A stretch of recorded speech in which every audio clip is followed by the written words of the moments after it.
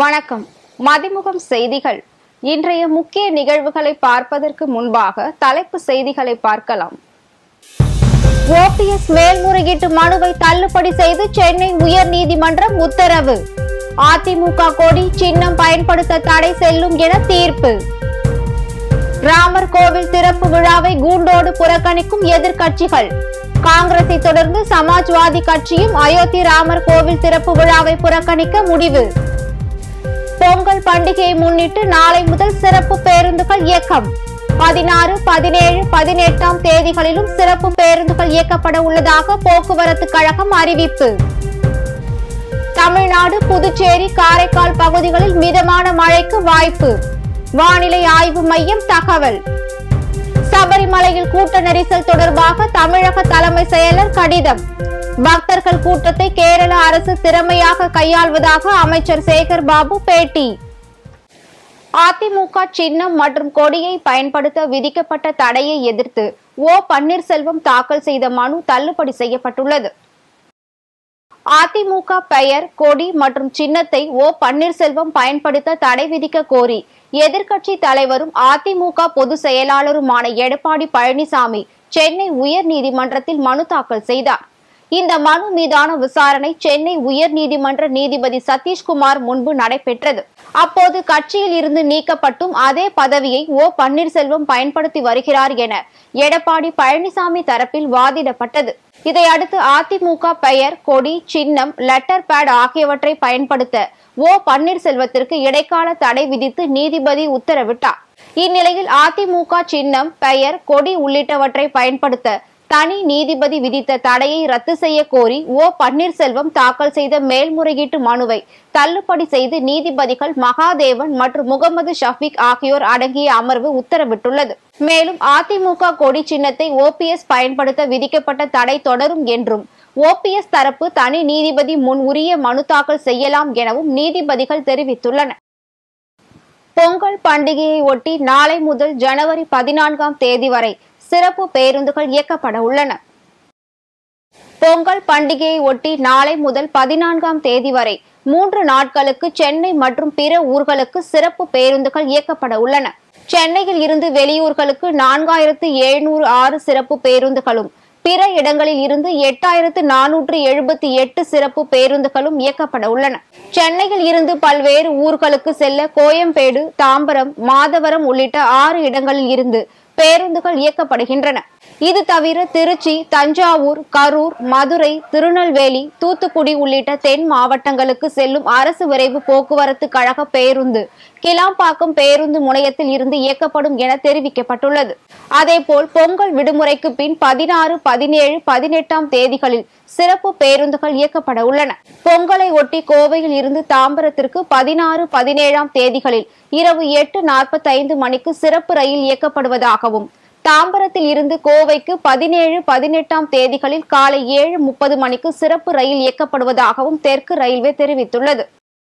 காங்கிரஸை தொடர்ந்து சமாஜ்வாதி கட்சியும் அயோத்தி ராமர் கோவில் திறப்பு விழாவை புறக்கணிக்க முடிவு செய்துள்ளது.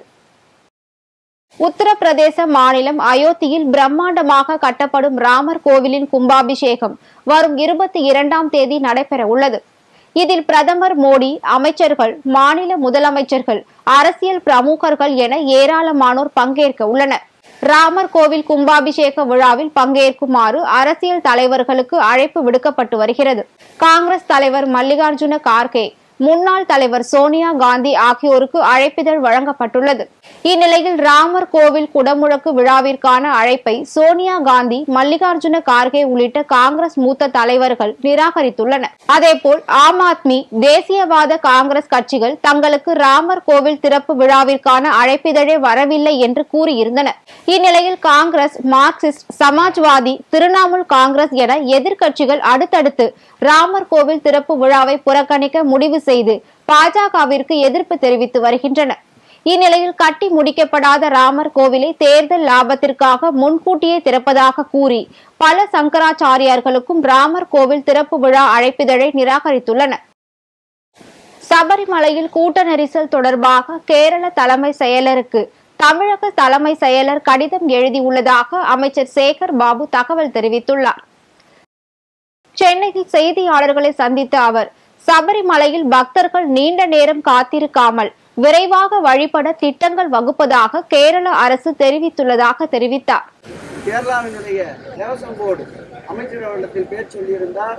தேவசம் போர்டு தலைவரிடமும் பேச சொல்லியிருந்தார். பேசியிருக்கின்றோம் முடிய எவ்வளவு முடியுமோ அந்த அளவிற்கு சிரமத்தை மேற்கொண்டு கேரளா அரசாங்கமும் கேரளா காவல்துறையும் திருவாங்கூர் தேவஸ்தானம் போடும் பக்தர்களுக்கு தேவையான வசதிகளை செய்து கொண்டிருக்கின்றது.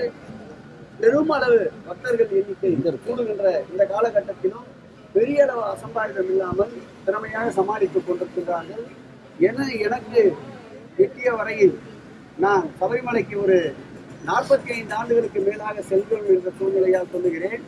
ஒரு மணி நேரத்திற்கு குறைந்தபட்சம் மூவாயிரத்தி ஐநூறு பேர் தான் தரிசனம் செய்யக்கூடிய சூழல். ஒரு நாளைக்கு கிட்டத்தட்ட பதினெட்டு மணி நேரம் தரிசனம் நடக்கும். பதினெட்டு மணி நேரம் என்ற தரிசனத்துக்கு எடுத்துக்கொண்டால் ஒரு ஐம்பத்தி ஏழு ஐம்பத்தி எட்டாயிரம் பேர் அளவிற்கு தரிசனம் செய்ய முடியும். ஆனால் இந்த எண்ணிக்கை கூடுகின்ற போது கூட்டம் நெரிசல் அதிகம் ஏற்பட்டு தரிசனத்துக்குண்டான கால அளவு நீடிப்பது இயற்கையாக அங்கே அமைந்திருக்கின்றது. இருந்தாலும் அங்கே காவல்துறை அதற்கேற்றார் போல் பக்தர்களை வரிசைப்படுத்தி நிறுத்தி நிறுத்தி அனுப்புகிறது. சபரிமலையில் நேற்று தொன்னூற்று ஐந்தாயிரம் பேர் சுவாமி தரிசனம் செய்த நிலையில் இன்று காலை முதல் பக்தர்கள் வருகை நாற்பது ஆயிரமாக சரிந்துள்ளது. சபரிமலை ஐயப்பன் கோவிலில் மகர விளக்கு பூஜைக்காக கடந்த டிசம்பர் முப்பதாம் தேதியன்று சபரிமலையில் நடை திறக்கப்பட்டதில் இருந்து லட்சக்கணக்கான பக்தர்கள் ஐயப்பனை தரிசித்து வருகின்றனர். ஜனவரி பதினைந்தாம் தேதி அதிகாலை மகர சங்கரம பூஜையும் மாலையில் மகர ஜோதி தரிசனமும் நடைபெற உள்ளது மகர விளக்கு பூஜைக்காக திங்கட்கிழமை அதிகாலை இரண்டு மணிக்கு நடை திறக்கப்பட்டு அதிகாலை இரண்டு நாற்பத்தி ஆறு மணிக்கு மகர சங்கரம பூஜையும் நெய் அபிஷேகமும் நடைபெற உள்ளது. அதைத் தொடர்ந்து மாலை ஆறு முப்பது மணிக்கு திருவாபரணத்தை ஐயப்பனுக்கு சார்த்தி மாலை ஆறு முப்பது மணிக்கு தீபாராதனை நடைபெறுகிறது. மேலும் பதினைந்தாம் தேதியில் இருந்து பதினெட்டாம் தேதி வரை மணி மண்டபத்தில் இருந்து ஐயப்ப சுவாமியின் ஊர்வலம் நடைபெற உள்ளது. இந்நிலையில் சபரிமலையில் நேற்று தொன்னூற்று ஐந்தாயிரம் பேர் சுவாமி தரிசனம் செய்த நிலையில் இன்று காலை முதல் பக்தர்களின் வருகை நாற்பது ஆயிரமாக சரிந்து பக்தர்கள் கூட்டம் கட்டுக்குள் வந்துள்ளது. அதிமுக முன்னாள் அமைச்சர் விஜயபாஸ்கர் மீதான சொத்து குவிப்பு வழக்கின் விசாரணை ஜனவரி முப்பத்தி ஒன்றாம் தேதிக்கு ஒத்திவைக்கப்பட்டுள்ளது. புதுக்கோட்டை மாவட்டம் விராலிமலை சட்டப்பேரவை தொகுதி அதிமுக உறுப்பினராக உள்ள சி. விஜயபாஸ்கர் மீது அதிமுக ஆட்சி காலத்தில் அமைச்சராக இருந்தபோது வருமானத்திற்கு அதிகமாக சொத்து சேர்த்ததாக ஊழல் தடுப்பு மற்றும் கண்காணிப்பு பிரிவு காவல்துறை விஜயபாஸ்கர் அவரது மனைவி உள்ளிட்டோருக்கு எதிராக வழக்கு பதிவு செய்தது. இந்த வழக்கு புதுக்கோட்டை மாவட்ட முதன்மை நீதிமன்றத்தில் நடைபெற்று வரும் நிலையில் குற்றப்பத்திரிகை மற்றும் பதினேழாயிரம் பக்கங்கள் கொண்ட சொத்து ஆவண நகல்கள் விஜயபாஸ்கருக்கு வழங்கப்பட்டுள்ளது. இதன் தொடர்ச்சியாக இந்த வழக்கு இன்று விசாரணைக்கு வந்தபோது ஊழல் தடுப்பு மற்றும் கண்காணிப்பு பிரிவு சார்பில் கூடுதல் அரசு வழக்கறிஞர் ஹேமந்த் குமார் ஆஜரானார். இந்நிலையில் ஜனவரி முப்பத்தி ஒன்றாம் தேதிக்கு வழக்கு விசாரணையை நீதிபதி கே. பூர்ணஜய ஆனந்த் ஒத்திவைத்து உத்தரவிட்டார். அறிவியல் சார்ந்த சமுதாயத்தை உருவாக்க வேண்டும் என அமைச்சர் அன்பில் மகேஷ் கேட்டுக் கொண்டுள்ளார் சென்னை கிண்டியில் உள்ள தனியார் நட்சத்திர விடுதியில் தனியார் பள்ளி சார்பில் அரசு மற்றும் தனியார் பள்ளி மாணவ மாணவிகளின் தனி திறமையை ஊக்குவிக்கும் வகையில் புதிய கண்டுபிடிப்புகளுக்கான போட்டி நடைபெற்றது. இதில் வெற்றி பெற்ற மாணவ மாணவிகளுக்கு பள்ளி கல்வித்துறை அமைச்சர் அன்பில் மகேஷ் பாராட்டு சான்றிதழ்களை வழங்கினார். பின்னர் மேடையில் பேசிய அமைச்சர் புதிய கண்டுபிடிப்புகளுக்கான காப்புரிமைகளை பற்றி மாணவர்களுக்கு புரிதல் ஏற்படுத்த வேண்டும் அதை எவ்வாறு விண்ணப்பிக்க வேண்டும் என்று ஆசிரியர்களும் கல்வியாளர்களும் மாணவர்களுக்கு கற்றுக் கொடுக்க வேண்டும் என வேண்டுகோள் விடுத்தார். பொங்கல் பண்டிகையை முன்னிட்டு நாளை ரேஷன் கடைகள் இயங்கும் என அறிவிக்கப்பட்டுள்ளது. பொங்கல் பண்டிகையை ஒட்டி குடும்ப அட்டைதாரர்களுக்கு பச்சரிசி சர்க்கரை முழு கரும்பு அடங்கிய தொகுப்புடன் ஆயிரம் ரொக்க பரிசு வழங்கப்படும் என்று முதலமைச்சர் மு க ஸ்டாலின் அறிவித்திருந்தார். அதன்படி சென்னை ஆழ்வார்பேட்டையில் உள்ள நியாய விலை கடையில் குடும்ப அட்டைதாரர்களுக்கு ஒரு கிலோ அரிசி ஒரு கிலோ சர்க்கரை ஒரு முழு கரும்பு ஆயிரம் ரூபாய் ரொக்கம் உள்ளடங்கிய பொங்கல் பரிசு தொகுப்பை வழங்கி முதலமைச்சர் மு ஸ்டாலின் தொடங்கி வைத்தார். இந்நிலையில் பொங்கல் பண்டிகையினை முன்னிட்டு குடும்ப அட்டைதாரர்களுக்கு பரிசு தொகுப்பு வழங்க ஏதுவாக நாளை அனைத்து நியாய விலை கடைகளுக்கும் பணி நாளாக தெரிவிக்கப்பட்டுள்ளது. இதற்கு ஈடாக பதினாறாம் தேதி அனைத்து நியாய விலை கடைகளுக்கும் விடுமுறை நாளாக அறிவித்து உணவுப் பொருள் வழங்கல் மற்றும் நுகர்வோர் பாதுகாப்புத்துறை உத்தரவிட்டுள்ளது. தமிழ்நாடு புதுச்சேரி காரைக்கால் பகுதிகளில் மிதமான மழைக்கு வாய்ப்பு உள்ளதாக வானிலை ஆய்வு மையம் தெரிவித்துள்ளது. வட தமிழக கடலோர பகுதிகளில் வளிமண்டல கீழடுக்கு சுழற்சி மற்றும் தென்கிழக்கு அரபிக்கடல் பகுதிகளில் நிலவும் வளிமண்டல கீழடுக்கு சுழற்சி காரணமாக பல மாவட்டங்களில் பரவலாக மழை பெய்து வருகிறது. கன்னியாகுமரி மாவட்ட அணை பகுதிகளில் சாரல் மழை நீடித்து பேச்சிப்பாறை பெருஞ்சாணி சிற்றாறு அணை பகுதிகளிலும் குலசேகரம் திருப்பரப்பு கடையாளு மூடு அருமனை ஆறுகாணி சுருளக்கோடு உள்ளிட்ட இடங்களிலும் மழை பெய்தது. திருநெல்வேலி மாவட்டத்திற்கு மேற்கு தொடர்ச்சி மலைப்பகுதியில் பெய்த பலத்த மழையால் தாமிரபரணியில் வெள்ளப்பெருக்கு ஏற்பட்டுள்ளது. ராமேஸ்வரத்தில் பத்து மணி நேரத்திற்கும் மேலாக பெய்த பலத்த மழையால் தாழ்வான பகுதிகளில் மழைநீர் குளம் போல் தேங்கியுள்ளது வங்கக்கடல் உள்ளிட்ட பகுதிகளில் பலத்த காற்று வீசும் என வானிலை ஆய்வு மையம் எச்சரிக்கை விடுத்துள்ளது. அதை அடுத்து தூத்துக்குடி மாவட்டத்தில் உள்ள விசைப்படகு மீனவர்கள் மீன்பிடிக்க கடலுக்கு செல்லவில்லை. முன்னூறுக்கும் மேற்பட்ட விசைப்படகுகள் சுமார் இரண்டாயிரத்திற்கும் மேற்பட்ட நாட்டு படகு மீனவர்கள் கடலுக்கு மீன்பிடிக்க செல்லாமல் நிறுத்தப்பட்டுள்ளது. இந்நிலையில் தமிழ்நாடு புதுச்சேரி காரைக்கால் பகுதிகளில் மிதமான மழைக்கு வாய்ப்பு உள்ளதாகவும் பதிமூன்று முதல் வறண்ட வானிலை நிலவக்கூடும் எனவும் வானிலை ஆய்வு மையம் தெரிவித்துள்ளது. விளாத்திக்குளம் அருகே ஏழு வயது சிறுவன் மர்மமான முறையில் கத்தியால் குத்தி கொலை செய்யப்பட்ட சம்பவம் குறித்து காவல்துறையினர் விசாரணை மேற்கொண்டு வருகின்றனர். தூத்துக்குடி மாவட்டம் விளாத்திக்குளம் அருகே உள்ள வேம்பாறையை சேர்ந்த முத்துக்குமார் என்பவரின் மகன் அஸ்வின் குமார் இவர் அப்பகுதியில் உள்ள பள்ளியில் இரண்டாம் வகுப்பு பயின்று வந்துள்ளார். அஸ்வின் குமார் காய்ச்சல் காரணமாக கடந்த இரண்டு நாட்களாக பள்ளிக்கு செல்லாமல் தனது வீட்டிலேயே தனியாக இருந்துள்ளார். இந்நிலையில் தனியாக இருந்த அஸ்வின் குமார் கழுத்தில் கத்தி குத்து காயத்துடன் ரத்த வெள்ளத்தில் வீட்டின் வாசலில் உயிரிழந்து கிடந்துள்ளதை கண்டு அதிர்ச்சி அடைந்த அப்பகுதியினர் காவல்துறையினருக்கு தகவல் தெரிவித்துள்ளனர். விரைந்து சென்ற காவல்துறையினர் சிறுவனின் உடலை கைப்பற்றி பிரேத பரிசோதனைக்காக தூத்துக்குடி அரசு மருத்துவ கல்லூரி மருத்துவமனைக்கு அனுப்பி வைத்தனர் இதனைத் தொடர்ந்து சம்பவ இடத்திற்கு தடயவியல் நிபுணர்கள் மற்றும் மோப்பநாய் வரவழைத்து கொலை செய்தது யார் என்பது குறித்து காவல்துறையினர் தீவிர விசாரணை மேற்கொண்டு வருகின்றனர். ஏழு வயது சிறுவன் மர்மமான முறையில் கத்தியால் குத்தி கொலை செய்யப்பட்ட சம்பவம் அப்பகுதி மக்களிடையே பெரும் சோகத்தையும் அதிர்ச்சியையும் ஏற்படுத்தியுள்ளது. அனுமன் ஜெயந்தி விழாவை ஒட்டி நாமக்கல் ஆஞ்சநேயர் கோவிலில் சிறப்பு அபிஷேகம் மற்றும் அலங்காரம் நடைபெற்றது. மார்கழி திங்கள் அமாவாசை அன்று அனுமன் அவதரித்த நாளை அனுமன் ஜெயந்தியாக கொண்டாடப்பட்டு வருகிறது. இந்நிலையில் நாமக்கல் நகரின் மைய பகுதியான கோட்டை சாலையில் அமைந்துள்ள பதினெட்டு அடி உயர ஆஞ்சநேயர் சுவாமிக்கு அனுமன் ஜெயந்தியை ஒட்டி ஒரு லட்சத்து எட்டு வடை கொண்ட மாலைகள் சாத்தப்பட்டது. முன்னதாக பால் மற்றும் பல்வேறு வாசனை திரவியங்களை கொண்டு சிறப்பு அபிஷேகம் நடைபெற்றது. இதில் திரளான பக்தர்கள் கலந்து கொண்டு சுவாமி தரிசனம் செய்தனர். அதேபோல் வேலூரில் உள்ள ஸ்ரீ யோக ஆஞ்சநேயர் ஆலயத்தில் அனுமன் ஜெயந்தியை முன்னிட்டு ஆஞ்சநேயருக்கு சிறப்பு அபிஷேகம் செந்தூர காப்பு அலங்காரம் வெள்ளி கவசம் அணிவிக்கப்பட்டு மகா தீபாராதனைகள் நடைபெற்றது. இதில் நீண்ட வரிசையில் பக்தர்கள் காத்திருந்து சுவாமி தரிசனம் செய்தனர். இதே போன்று சத்துவாச்சாரி மாவட்ட ஆட்சியர் அலுவலகம் எதிரில் உள்ள பக்த ஆஞ்சநேயர் மற்றும் பெரிய ஆஞ்சநேயருக்கு பால் தயிர் உள்ளிட்ட பல்வேறு வகையான பொருட்களை கொண்டு சிறப்பு அபிஷேகங்களை செய்து மகா தீபாராதனைகள் நடைபெற்றது. தர்மபுரி மாவட்ட விளையாட்டு அரங்கில் மாநில அளவிலான புதிய விளையாட்டு போட்டிகளை மாவட்ட ஆட்சியர் சாந்தி தொடங்கி வைத்தார்.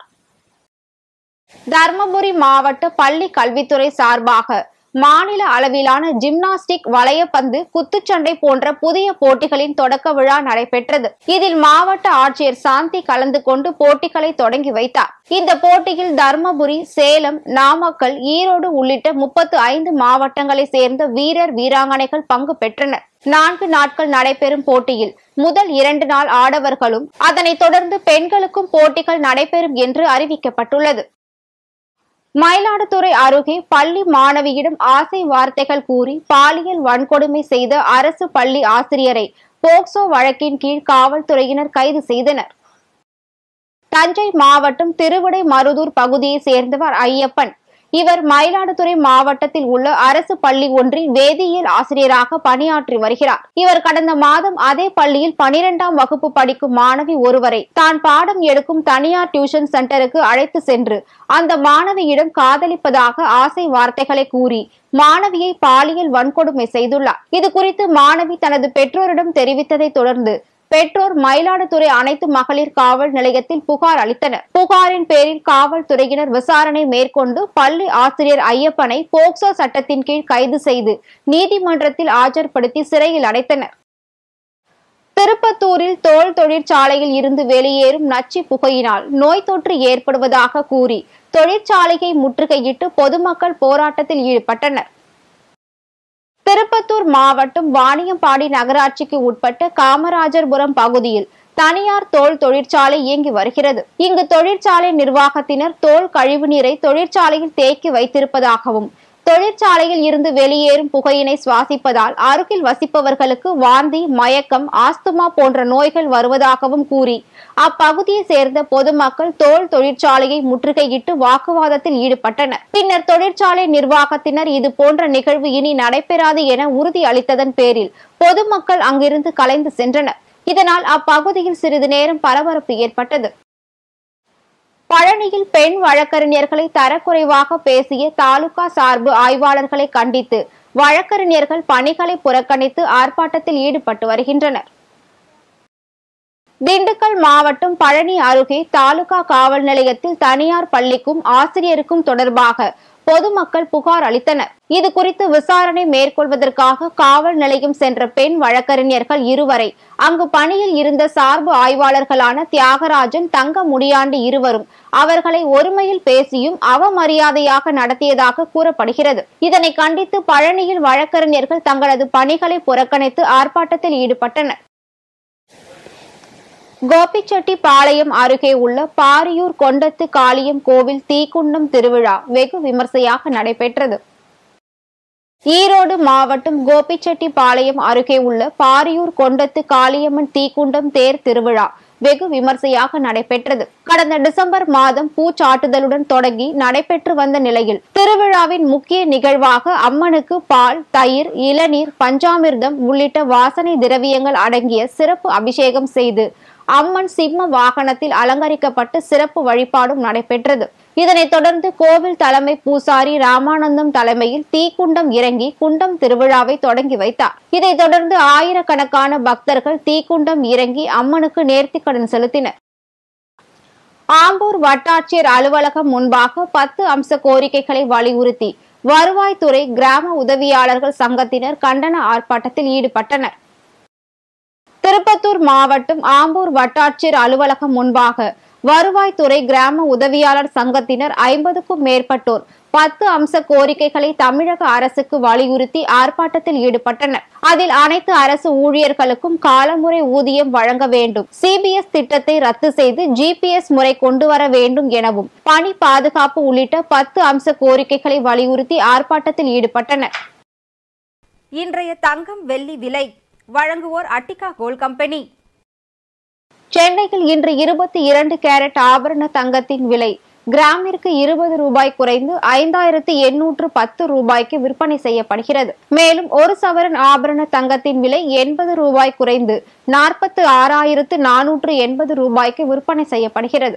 வெள்ளியின் விலையில் எந்தவித மாற்றமும் இன்றி ஒரு கிராம் வெள்ளியின் விலை எழுபத்தி ஏழு ரூபாய் ஐம்பது காசுகளுக்கும் ஒரு கிலோ வெள்ளியின் விலை எழுபத்தி ஏழாயிரத்து ஐநூறு ரூபாய்க்கும் விற்பனை செய்யப்படுகிறது. தென்கொரியாவை தூண்டிவிடும் அமெரிக்காவை அழித்து விடுவோம் என வடகொரிய அதிபர் கிம் ஜாங் உன் எச்சரிக்கை விடுத்துள்ளார். வடகொரியா தென்கொரியா நாடுகளுக்கு இடையேயான நீண்ட நாள் மோதல் காரணமாக கொரிய தீபகற்பத்தில் பதற்றம் நீடித்து வருகிறது. தென்கொரியாவிற்கு ஆதரவாக அமெரிக்கா ஜப்பான் நாடுகள் செயல்பட்டு வருகின்றன. இதேபோல் உக்ரைன் மீதான ரஷ்யா தாக்குதலில் உக்ரைனுக்கு அமெரிக்கா ஆதரவு கரம் நீட்டியுள்ளது. இதனிடையே அமெரிக்கா தென்கொரியா நாடுகளின் கூட்டு ராணுவ பயிற்சி தென்கொரியாவில் அமெரிக்காவின் குண்டு வீசும் விமானங்கள் அணு ஆயுத நீர்மூழ்கி கப்பல் போன்ற சக்தி வாய்ந்த ராணுவ தளவாடங்கள் நிறுத்தி வைப்பு போன்றவை அதிகரித்து உள்ளதால் வடகொரியா ஆத்திரமடைந்துள்ளது. இந்நிலையில் வடகொரிய அதிபர் கிம் ஜாங் உன் தென்கொரியா எங்கள் முக்கியமான எதிரி என்றும் தென்கொரியாவை தூண்டும் நாடுகளை அழித்து விடுவோம் எனவும் பகிரங்கமாக எச்சரிக்கை விடுத்துள்ளார். மீண்டும் தலைப்பு செய்திகள். ஓபிஎஸ் மேல்முறையீட்டு மனுவை தள்ளுபடி செய்து சென்னை உயர்நீதிமன்றம் உத்தரவு. அதிமுக கொடி சின்னம் பயன்படுத்த தடை செல்லும் என தீர்ப்பு. ராமர் கோவில் திறப்பு விழாவை கூண்டோடு புறக்கணிக்கும் எதிர்க்கட்சிகள். காங்கிரத்தை தொடர்ந்து சமாஜ்வாதி கட்சியும் அயோத்தி ராமர் கோவில் திறப்பு விழாவை புறக்கணிக்க முடிவு. பொங்கல் பண்டிகையை முன்னிட்டு நாளை முதல் சிறப்பு பேருந்துகள் இயக்கம். பதினாறு பதினேழு பதினெட்டாம் தேதிகளிலும் சிறப்பு பேருந்துகள் இயக்கப்பட உள்ளதாக போக்குவரத்து கழகம் அறிவிப்பு. தமிழ்நாடு புதுச்சேரி காரைக்கால் பகுதிகளில் மிதமான மழைக்கு வாய்ப்பு. வானிலை ஆய்வு மையம் தகவல். சபரிமலையில் கூட்ட நெரிசல் தொடர்பாக தமிழக தலைமை செயலர் கடிதம். பக்தர்கள் கூட்டத்தை கேரள அரசு திறமையாக கையாள்வதாக அமைச்சர் சேகர் பாபு பேட்டி. இத்துடன் செய்திகள் நிறைவடைந்தன. மீண்டும் செய்திகள் இரவு எட்டு மணிக்கு. மேலும் செய்திகளை தெரிந்து கொள்ள மதிமுகம் பிரைம் யூடியூப் தளத்தில் இணைந்திருங்கள்.